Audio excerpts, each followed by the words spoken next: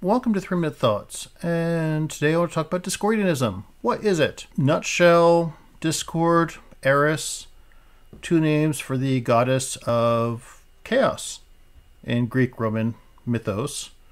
And the idea of Discordianism is to embrace or enjoy chaos.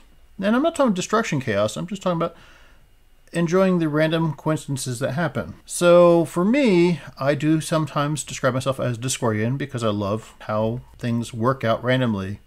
I mean, things also don't work out randomly, but I like randomness. And a story I want to tell is so back in college, I'd hang out with other pagan types, witches and whatnot, who also liked the idea of Discordianism. And I remember one time and this is at Purdue. So on there's a hill, there's this amphitheater that you have to do a nice little hike to get to. And it was about this time, Octoberish, and there was they're doing a little ceremony, and there was four of them.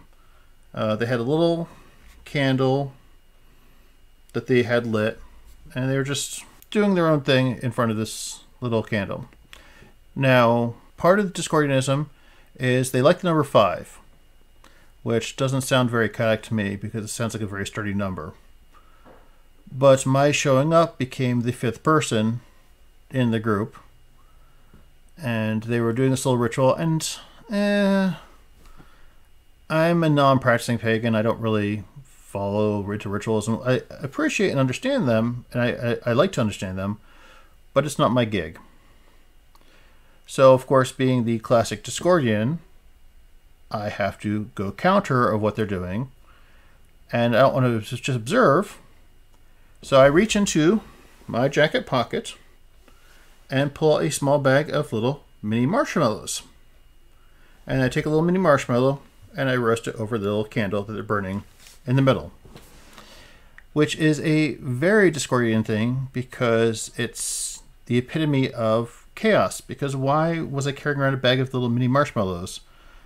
And I believe at that time, actually was going through a small phase that month of having fun, of having little mini, mini marshmallows to throw at friends. Why not? It was something. So that's why I had a small bag in my pocket. I've never done anything like that since.